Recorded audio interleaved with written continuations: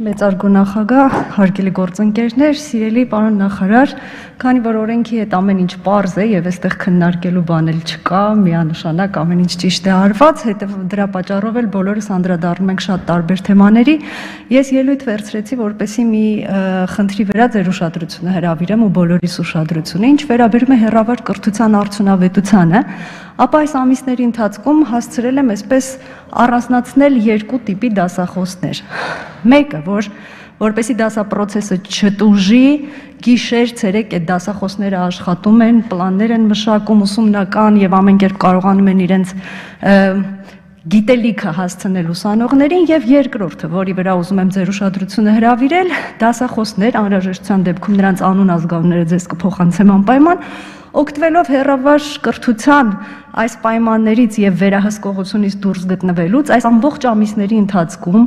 բոլոր դասերը նվիրել են միայն կառավարությանը մեղմ ասած քննադատելուն, մասնավորապես տարբեր լեգենդներ եւ տարբեր տեսակի այսպես հորինված պատմություններ պատմել մասնավորապես վարչապետի մասին ուսանողությանը, այսինքն այս ամբողջ ամիսները նվիրվել են միայն դրան։ Ես չգիտեմ հերավարի ընթացքում սա վերահսկելի է թե ոչ, բայց եթե դա աստված մենք անցնենք ուսումնական նորմալ դասապրոցեսներին, ապա կարելի է ինչ որ կերպ մտածել նախ դասախոսների վերա ինչպես ասեմ, գիտելիքների այսպես վերազինում,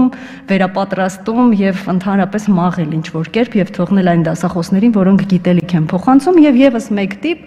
որը որ օգտվելով այն առիթից, որ չի ստացվում նորմալ դասապրոցեսը շատ տարբեր երեխաների կամ ուսանողների հետ եւ շատերը հետ են մնալու, նույնիսկ ոչ մասնագիտական առարկաների դեպքում 500 դոլարով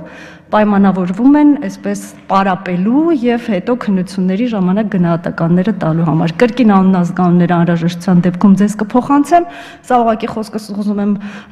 եզրափակել դիմելով մեր քաղաքացիներին եւ մասնավորապես ուսանողներին։